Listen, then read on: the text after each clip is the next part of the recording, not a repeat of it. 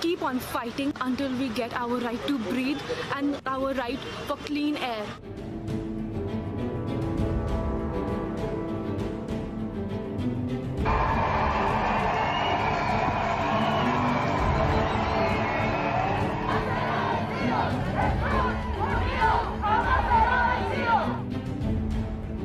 Thousands of students are expected to take part in the county's largest ever high school walkout on climate change. I strike because I know my generation will be the ones affected most by climate change. I have a simple question. How many more COPs are you going to have before we take action? All these different social justice issues are environmental issues as well, since mm-hmm. the people that are experiencing the climate crisis first and worst are people of color um, and are women. You cannot tell me that you're going to steal my children's futures away. You are negotiating what world my grand my grandkids are going to be living in. You have to be able to promise me that they're going to have a rich, sustainable, healthy, and just livelihood.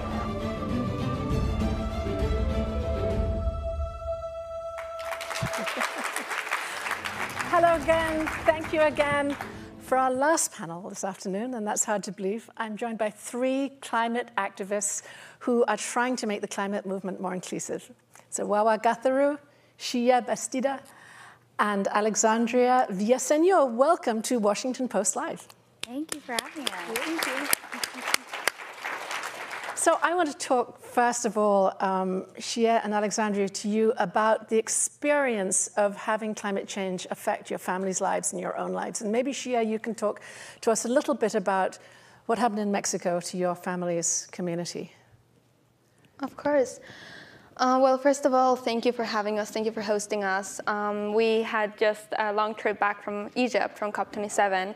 So we are, you know, ready to talk about that, but also you know, just share a little bit about our experience. Um, I was born and raised in Mexico in a small town called San Pedro Tultepec, and I'm part of the Otomi Toltec indigenous community. So in my cosmology, everything is about reciprocity. It's about intergenerational dialogue. It's about taking care of Mother Earth because that is what we do. That's the principles. And seeing my own town, looking around, all of these relationships disrespected and broken. Uh, Mexico City taking our water from our aquifer to expand, uh, polluting industries, putting waste into our river that my dad used to bathe in. And in 2015, my hometown suffered from flooding, uh, which had never happened ever before. My grandmother had never seen that, and she's in her 80s. So for me, that was the moment where I couldn't, I couldn't grow, wait to grow up to get a degree to be part of climate solutions like my mm. parents had. My parents met at the first ever Earth Summit in 1992 in Rio de Janeiro. They've been working in the climate space way before I was born. And I wanted to follow their, their footsteps in terms of, you know, they've been writing about it, they've been going to UN conferences about it, championing indigenous rights. But I couldn't do that. I had to put myself out there at 15 years old. It was my first ever climate conference. Right. So it's we're growing up too fast, but it's also important to share those. But it's stories. very personal as well, as it was for you, Alexandria, in Northern California, right, where you experienced the wildfires. Yeah. So. Um, I grew up in Northern California. We had wildfires all year round. But when I was younger, I, we didn't used to see a ton of wildfires. It's definitely changed. And so in um, November of 2018, I was in Northern California when the Camp Fire happened in Paradise, California. And at the time, it was California's worst wildfire in its history. It ended up covering the entire area in this thick, unbreathable smoke, and um, the air quality at the time was the worst in the world. And so it was a very scary experience, um, especially because I didn't understand why it was happening. But it was once I educa- educated myself and started to see the connection between the two, that's when I knew I had to get involved.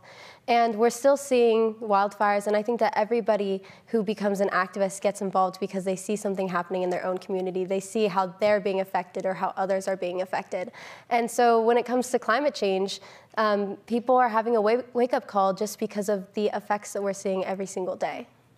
Wawa, you came into this a little differently, I think, because you're of Kenyan descent from a long line of farmers, but it was an environmentalism class that brought you into this movement. Is that right? Exactly. And you know, it's so interesting because I really grew up with really um, strong, positive environmental values. Mm. Um, like she was talking about, I also grew up in a Black Indigenous um, family, and um, the concept of reciprocity and the concept of taking care of our planet and actually mm. being a part of nature ourselves was something that was passed along to us. However, my understanding of environmentalism and who environmentalists could be very much so was not me. It felt like a very top shelf white issue, and it wasn't until I took that environmental science class when I was 16 that my teacher had decided to go the extra step and make the connections between racial justice and gender justice mm-hmm. and environmental justice. And that's where I was able to connect the dots that, oh, all these issues that I have cared about for so long and I feel are so fundamentally a part of uh, myself and my well being and that of my community are intrinsically environmental issues as well. So, talk about sort of top shelf. Xiye, you've just come back from COP27, as you said, and I think another very well known activist, um, Greta Thunberg, decided not to go. Mm. Um, she said she thought it was about influential people greenwashing um, and backed out of it. Having been there, is that a fair take? Is there a lot of sort of talk and greenwashing going on, or did you really come away feeling that there's good work going on at an institution like COP now?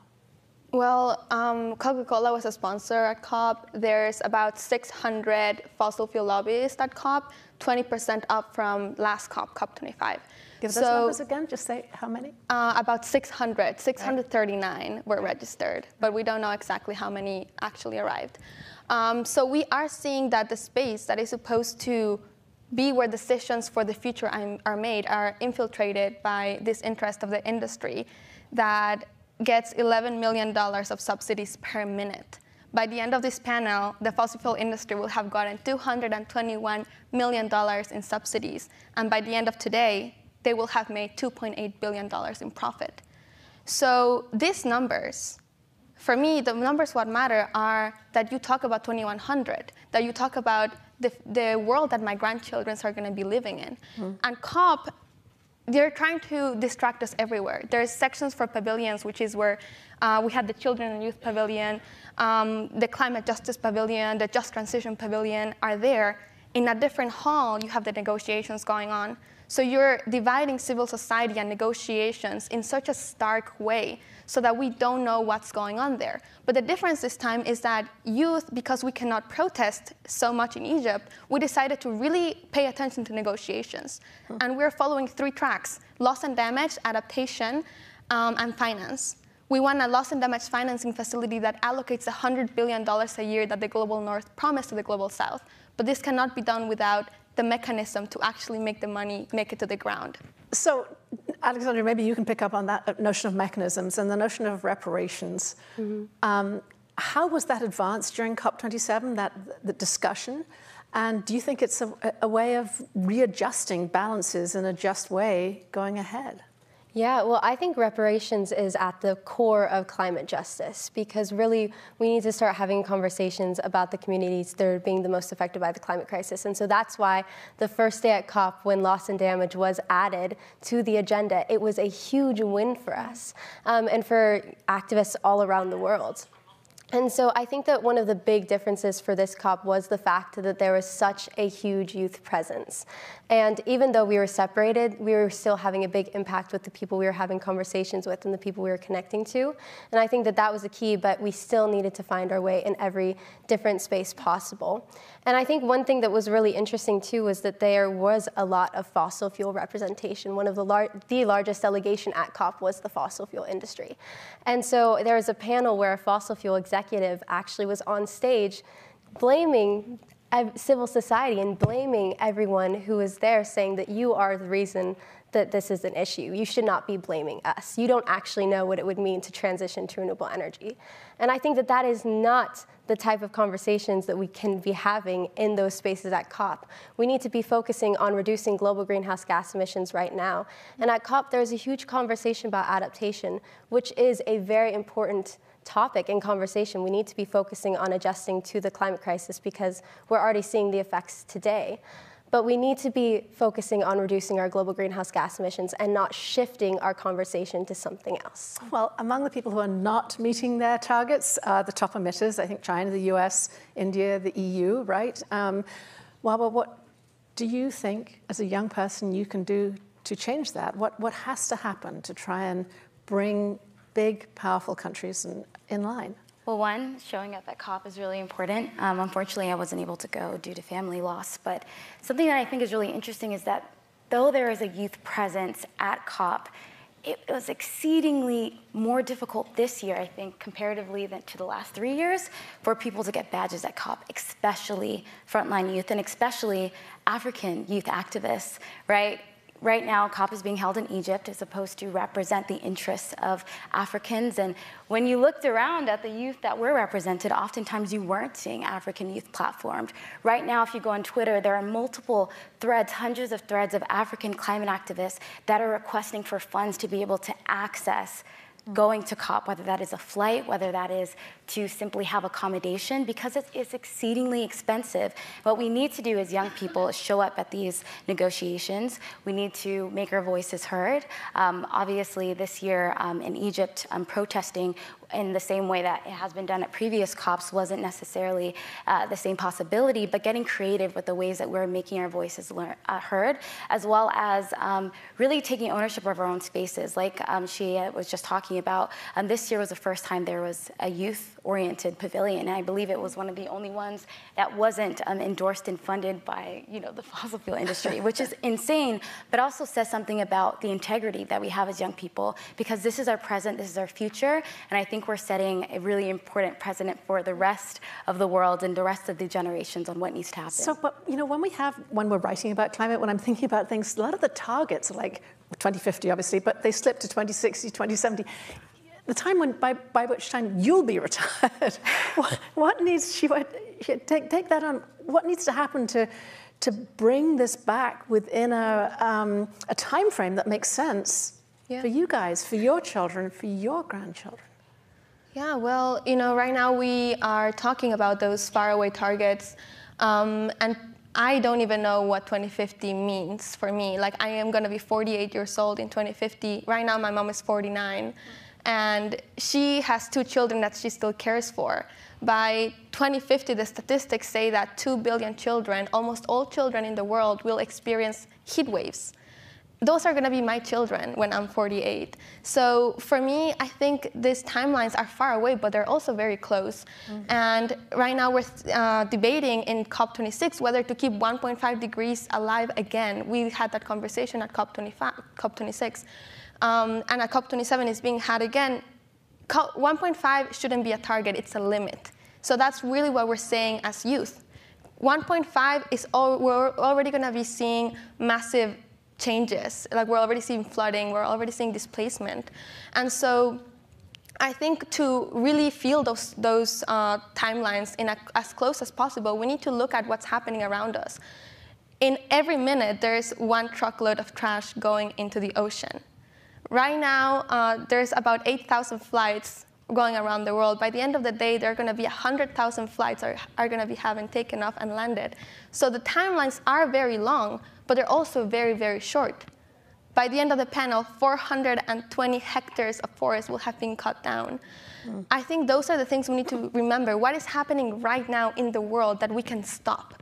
And once we see that the climate crisis reflects itself in every minute of our lives, as well as in the time where we're going to be mothers, that is when you understand that this is not a game for me of shuffling emissions, getting some offsets here, doing some mental gymnastics to get net zero it's my life. Right, and I'm thinking we're up to COP27, and we should remind everybody that's the UN Climate Change Conference there. We're up to COP27, and we've had agreements that have not been met. But Alexandria, let me ask you a little bit about what you expected of this US administration. And I think back in 2020, you saw Biden, President Biden, come in, and you said um, that it gave a fighting chance, that change, to bring about some good legislation advantage, advantageous legislation.